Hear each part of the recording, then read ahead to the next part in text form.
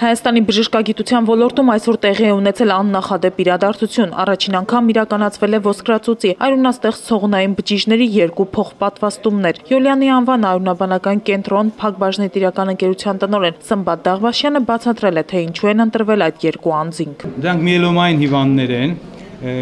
քիմիոթերապիայի բազմաթիվ կուրսերից հետո այդ հիվանդների մոտ մենք ստացանք համապատասխան ռեմիսիա եւ հիվանդությունը կրկնվեց եւ այդ հիվանդների մոտ ցուցված էր ցողունային բջիջների փոխպատվաստումը